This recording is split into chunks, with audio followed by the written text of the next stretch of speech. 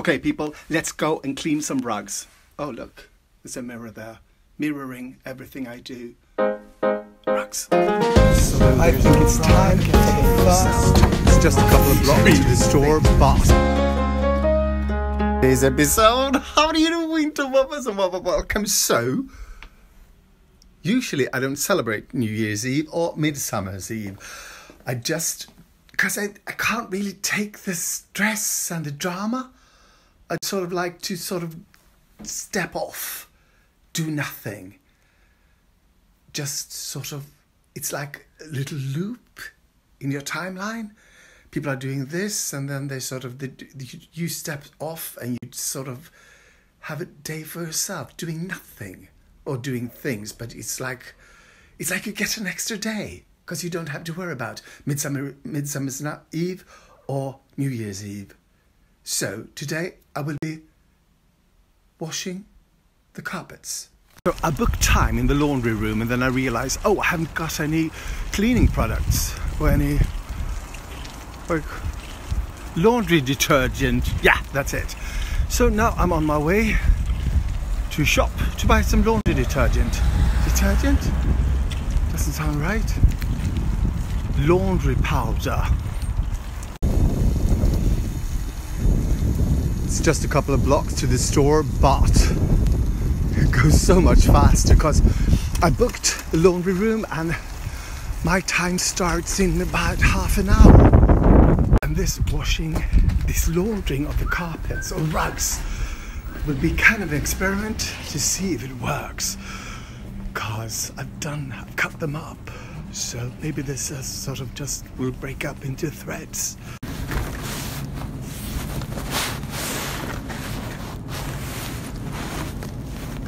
It is New Year's after all. So I bought quite a lot of cola, but it is New Year's Eve after all.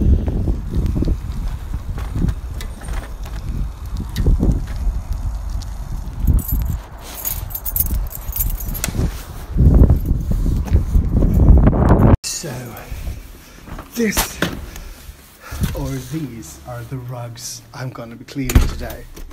So some of you might remember, I'm sorry that it looks a mess, it's not really that messy, it just looks it.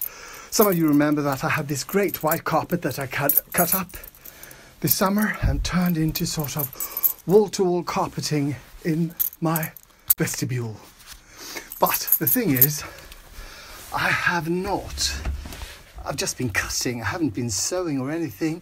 So hopefully when I put that into the washing machine, it won't fray too much. I realize there will be some fraying, hopefully not too much. So the carpet is in three parts and I just realized now that it wasn't, I think it was two white carpets or rugs that I cut up. So this is one part. This has nothing to do. This is just I had an extra rug, a round rug, so I just put it here. I don't know where to put it.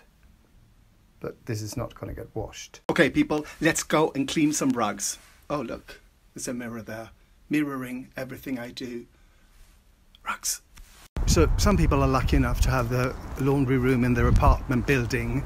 I am not one of those people. Let's see here. There's one house, two house five houses away. That's my laundry room. I live in luxury. So we are getting closer. Some of you might recognize the room where we recycle room, recycle garbage and door next door. The next door is the tvättstuga. So to get in, you sort of blip and then you blip again to show them that you're here. And then this is my machine. It's for really heavy stuff like rugs and rugs. Oh, and someone forgot their laundry. People are assholes. So there's no problem getting the rug into. And let's see how we start this motherfucker. So I think I did all right. I really. so, oh, fuck. Yes. Good. See you later, operator. So this will be ready in 45 minutes. And usually, when I do sort of regular laundry, I stay here. But now I think I'm going to go home and get another one of those rugs because, yeah, I'm going to wash all three of them. I thought I might just try this one first, but then I realized I really have to, to sort of wash them. So if they can't take it, if they fray altogether, I just have to throw them out.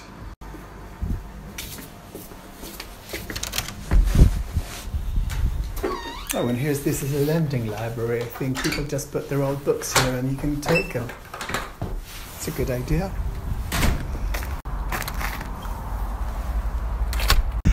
And some of you might think this seems all new to me. Do I never do laundry? But usually I do laundry at work because I'm a dresser. So I do the laundry while I'm working my personal laundry and the laundry for the theatre.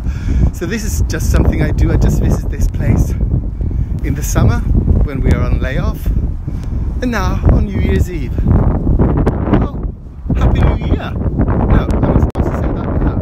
I'm supposed to say that later. No, forget that. It's almost time to go back, and I'm taking one of the larger pieces. See if I can fit that into the washing machine.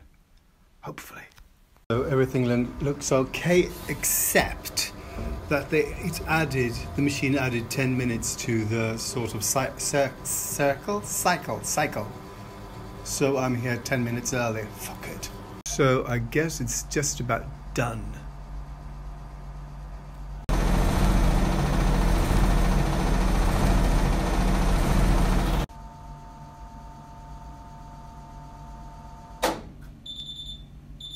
Okay, people, it's not that bad. I thought there would be much, much more fraying.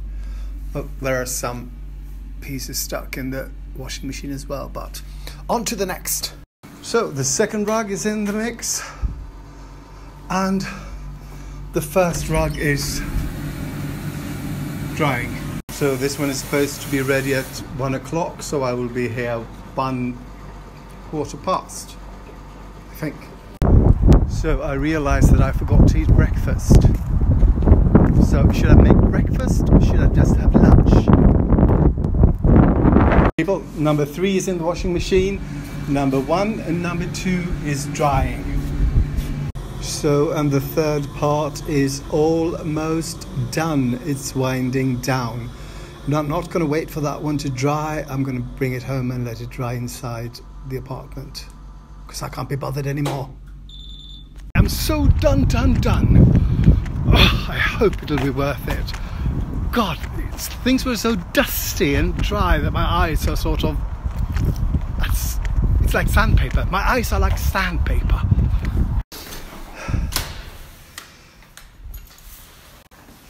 I'm home. People, it appears that there's certain parts of the rug missing. But I think it is because it's kind of wobbly right now. Hopefully, when it sort of goes straight, when it's sort of really dry, that this won't be, because this looks redonky donk, right?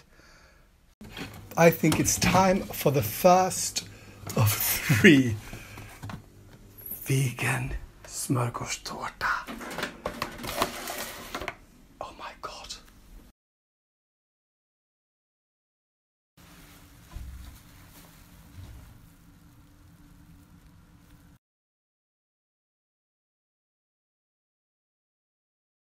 Okay, so you won't believe this, but I've been lying in the bathtub for four hours reading a book. Four hours.